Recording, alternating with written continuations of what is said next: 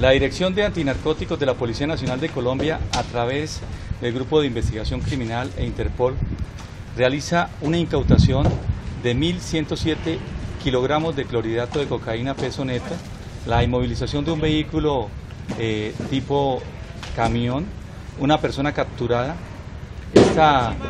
alijo se transportaba en la carretera que comunica a Ipiales con el vecino país y pertenecía a unas estructuras de crimen organizado vinculantes con el clan del Golfo.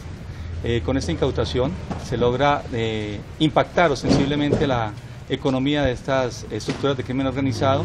que delinquen en esta jurisdicción y la incautación oscila en un eh, aproximado de 4.500 millones de pesos que iban a ser enviados a Centroamérica y posteriormente distribuidos a Europa y Norteamérica.